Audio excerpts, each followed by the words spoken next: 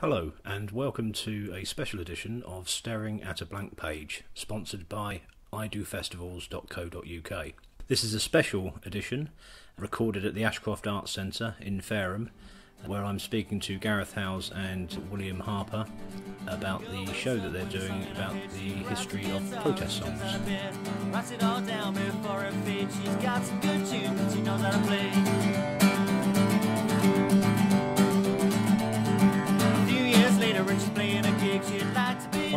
At the Ashcroft Arts Centre in Fareham uh, with Gareth Howells and William Harper. Hello, gents. Hello. Can you tell us what we're doing here? We're just setting up the gig for tonight, which is going to be um, the first gig in a project that we're doing called A Brief History of the Protest Song. Uh, and how did it come about?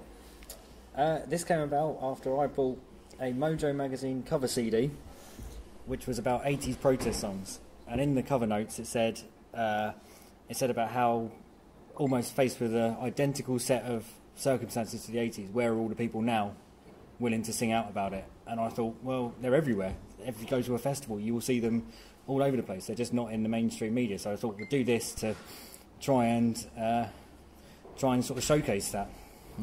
So, just taking it back uh, perhaps a few years, you're obviously a music fan for some time, but when was the first time you heard a song that you would class as a protest song that stood out as a protest song with a more of a message than just, you know, uh, oh darling, you've broken my heart? But, you know, but, what would you say your earliest memory of, of hearing a song that really grabbed you like that? Um, for me, it was probably when I was a kid. I grew up. My mum used to play me all sorts of '60s music, so I used to listen to a lot of it. But I think it was probably listening to some, probably some Bob Dylan. Was probably the first thing I heard and thought, "Oh, there's something in these lyrics." But then I seem to remember, I think it was actually the first one I really, really noticed. Probably was, a, it was a bootleg CD I had of Pearl Jam doing different things, and there was a live version of them covering "Masters of War," which is a Bob Dylan song, and that was. I sort of listened to that and listened to lyrics and thought this is amazing, and then looked into it a bit more. And I was, I was probably only about ten at the time, so it was It's quite, quite, early it's, on. it's quite good that we're doing Masters of War because I can trace it back to that as well. uh, because we, uh, I, I kind of, I grew up on like Simon and Garfunkel with Everly Brothers, rock and roll, and those kind of things. But because I was an '80s kid, um, listening to lots of mainstream '80s stuff, I was a Queen fan as well. But Kate Bush was a big character in all of that, and Army Dreamers was was um, was kind of a, a point there um, as far as political songwriting.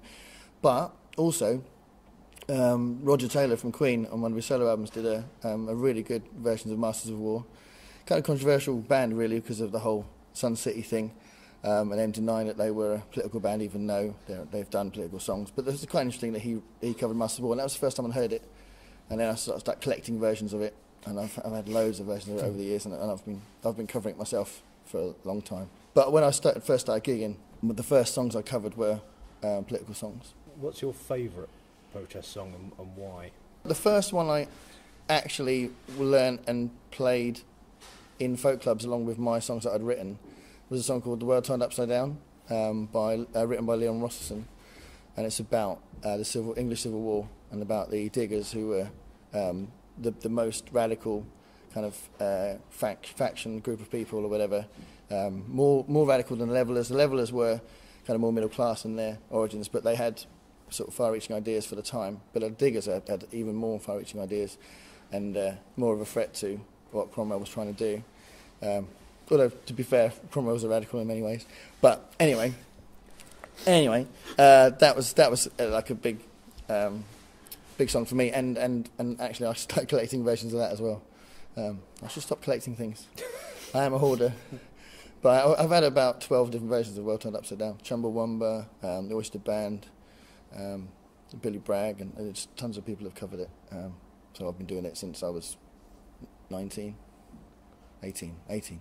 William, same question for you. Um, that's a very tough question because there's a lot of amazing songs out there.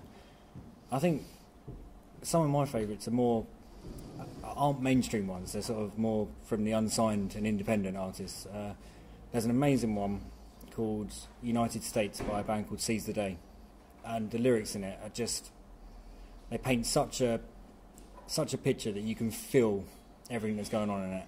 And it was about the the 9/11 attacks. So it's uh, yeah, but it's really powerful lyrics in that one. It's, it's interesting you talk about the, the how vivid the lyrics are because it's a big thing for me about because I'm, I'm, you know, always been a big fan of, of the language and how lyricists use language, and for me, it's quite an important part of political songwriting. There's such a range of different types of political songwriting. You know, we'll, we'll hopefully be, uh, well, we'll be talking tonight about how um, you know you can see it in rap music, you can see it in soul and R&B, you can see it in funk, you can see it in folk music, country music, all those kind of things. Um, so it's everywhere, but sometimes political songwriting can teach you stuff, it can educate you, uh, and some of the best songwriting um, can be it can illuminate you on something you didn't know about, or proper detailed lyrics about um, an event that had happened that you didn't you know that you did know something about, but you didn't really know enough about. Those kind of things. That's that's really clever songwriting. People like Bruce Cockburn, a Canadian songwriter. Um, does that all the time. You know, uh, he's fascinating and, and absolutely incredible lyricist, poetic as well, but also you, you, kind of do learn quite a lot from his songs as well. And I think that's amazing. Possibly a, a difficult question uh, to, to answer, but is there one single protest song that you could you could single out that's that's had more impact than any other song in changing either a government policy or a, a social attitude or, or Yeah, I like think that? so actually. Uh, Imagine by John Lennon. For a song like that, a song as controversial, really, how as offensive in some ways, like you know, Imagine There's No Religion, Imagine There's No Borders, you know, uh, kind of countries, all that kind of thing. Absolutely incredible, like, really extreme lines to be voted the best song of all time by some public poll uh, a few years ago. For people, you know, people clearly get past that because it's John Lennon, he was in the Beatles, and it's melodic. They don't see how extreme the lines are. That's incredible. Do you know what I mean? It's that that to me really has hit a nerve with people, and it is massively idealistic, you know, and very ideological, and powerful, and fantastic, and all for all the right reasons, but incredibly well known and popular.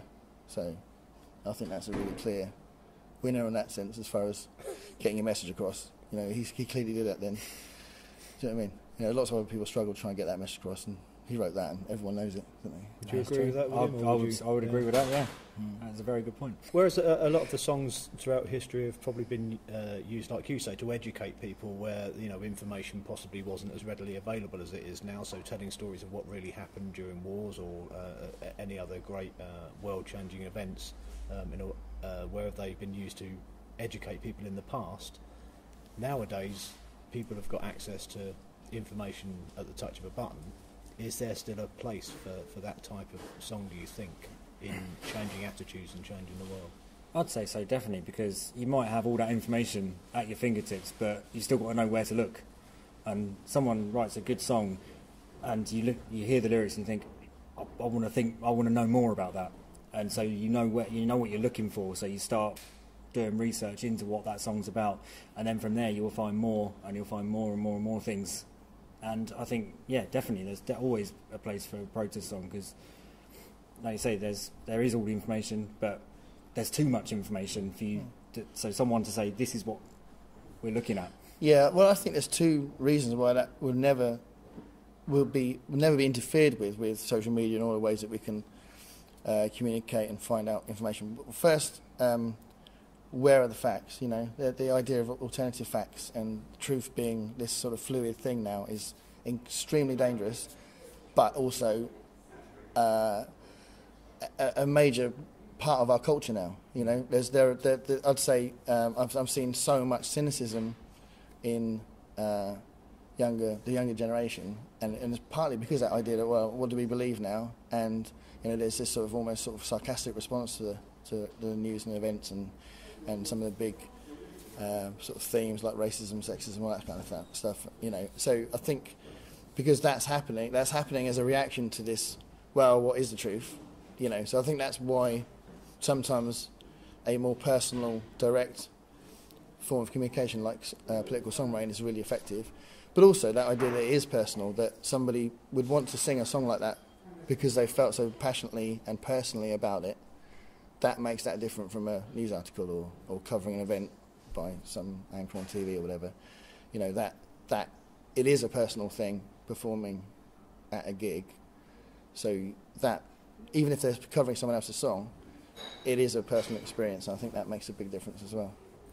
Uh, you mentioned uh, earlier, William, about uh, you see people at festivals who are carrying on that tradition. So you're, you're quite optimistic then that the lineage of protest songs is, is being continued and, Oh. and will will carry on. Definitely, definitely. I mean, some of the festivals we play at, pretty much every stage, pretty much every every band will have at least one song that will be will have a political message or some sort of protest message, or just just a message that's sort of just saying we can do this, we can do something about this, we can change Yeah. how things are. We don't have to just accept what's going on. We can we can make our own future and decide our own things. It's, it's not just the small or middle-sized festivals either, because the bigger ones will have a stage Yeah. that is more that caters to that kind of thing. So, I mean, yeah, even at kind of Glastonbury, you've got the left field stage run by Billy Bragg, which is that's all it is all day long. Is is song is protest songs and people talk and talks and they get, even get politicians in to, Yeah. to talk and people will ask them questions and they will answer. yeah, Don't know how honestly, but they'll answer. yeah. but I mean, at least they're there and there's the yeah. opportunity for. And they wouldn't be there if there wasn't a demand for it. So, Yeah, you know, it is, it is always going to be on demand because uh, ultimately it's about communication and it's about truth, and that's a part of our site. Yeah, well, the, all these things that these these these events and people and these isms that these songs discuss, they mean a lot to everybody. You know, so if, even if eighty percent of the songs that get written are love songs, that twenty percent means a lot to everybody. Do you know what I mean? So it'll always happen. It'll always be there. Down to some business then. Uh, this is a preview show tonight, is it? You're kind of testing the water a little bit. It kind of was our first one, so we're kind of we're calling it a preview because we know that um, we're hoping it will continue and it will we'll adapt. We'll adapt the show as we go along. So if, if you came to see this one and you came to, to one six months later, it will probably be different. Okay. So that's kind of why we're sort of calling Uh, it that. so, if people uh, would like to bring your show to their town, how can they get uh, get hold of you? I suppose the uh, the easiest way is we've got a Facebook page set up called the Brief History of I think it's called Harper and Howells present a brief history of protest, yeah, which is a bit much, isn't it? it, it may be. It's quite yeah. a long title. Yeah, but, uh, but there's they lots of ways there- to find us. You can find us with the William Harper if- page, yeah. uh, the Gareth Howells page, or the Bemis page. Okay, Yeah. thank you both for your time. Good luck Excellent. tonight. Thank you very much. Thank Look you. forward to it. Thank you. You look beautiful, by the way. That's staying.